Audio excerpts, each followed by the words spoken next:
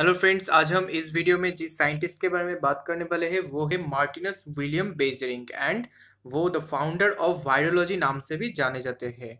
ठीक है? तो उनके कंट्रीब्यूशंस क्या है इन माइक्रोबायोलॉजी में as well as in virology में, उसके बारे में हम डिस्कस करेंगे। तो let's discuss about his contribution at first in virology तो उन्होंने जब टोबाकोमोजिक डिज़ीज़ के बारे में रिसर्च कर रहे थे तो एट फ़र्स्ट टोबाकोमोजिक डिज़ीज़ क्या है?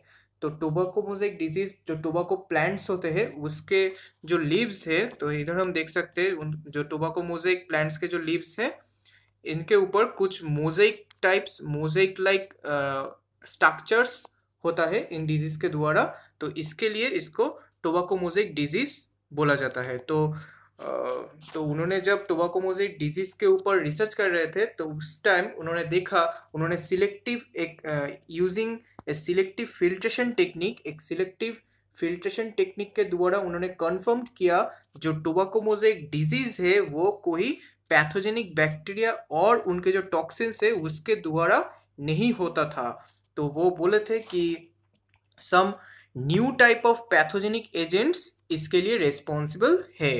तो वो क्या है? उन्होंने बोला, वो कॉन्ट उनको डिस्क्राइब किया as a contagium vivum fluidum नाम से, जो कि इन्फेक्टियस लिविंग फ्लूड ओके तो उस, इसको उन्होंने रेफर किया एज अ वायरस और पॉइजन नाम से। तो उन्होंने टोबाकोमोजिक डिज़ीज़ के ऊपर जब रिसर्च कर रहे थे जो टोबाको प्लांट्स के जो डिज़ीज़ है, उनके ऊपर जब रिसर्च कर रहे थे, उन्होंने एक सिलेक्टिव फिल्ट्रेशन टेक्निक के द्वारा कंफर्म किया जो, ये जो डिज़ीज़ है, ये कोई पैथोजेनिक बैक्टीरिया के द्वारा और जो बैक्टीरियल टॉक्सिन्स है, उसके द्वारा नहीं होता है।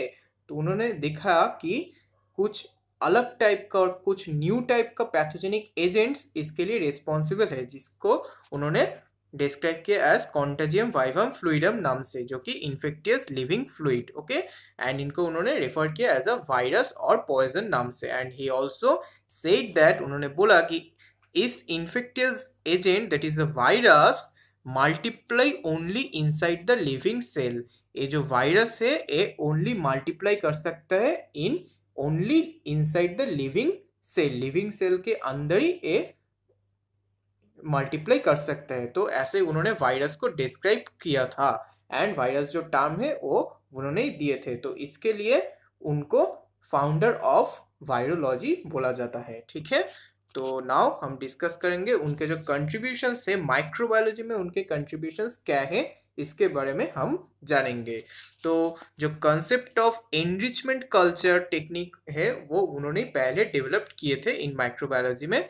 जो एनरिचमेंट कल्चर टेक्निक है टेक्निक है और जो सिलेक्टिव कल्चर टेक्निक है, वो उन्होंने पहले कंसेप्ट जो कंसेप्ट है इसका, उन्होंने डेवलप किए थे। तो ये क्या है?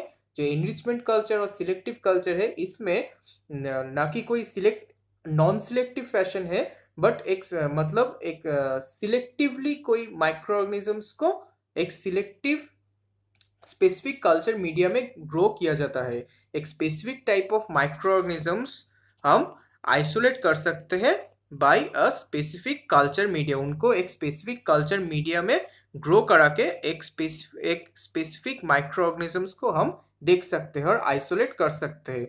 तो वैसे ही उन्होंने एक टेक्निक क्रिएट किए थे that is the enrichment culture technique और selective culture technique and by his selective culture technique और एनरिचमेंट कल्चर टेक्निक उन्होंने आइसोलेट किए थे कुछ pure culture of soil and aquatic micro organisms aquatic and soil soil में जो micro organisms होता है, वो उन्होंने उनके इस सिलेक्टिव कल्चर और एनरिचमेंट कल्चर के द्वारा उनको आइसोलेट किए थे प्योर कल्चर फॉर्म में, जिसमें आते हैं, एरोबिक नाइट्रोजन फिक्सिंग बैक्टीरिया, जो कि एजोटोबैक्टर है। Nitrogen fixing root nodule bacteria, जो कि बाद में जाना जाता है राइजोबियम नाम से and sulphite reducing bacteria and sulphur oxidizing bacteria and many other micro organisms को उन्होंने आइसोलेट किए थे प्योर कल्चर फॉर्म में by his technique enrichment culture technique और सिलेक्टिव कल्चर टेक्निक ठीक है? तो वैसे इसके, यही है उनके contributions in microbiology and in virology. Okay thank you for watching this video.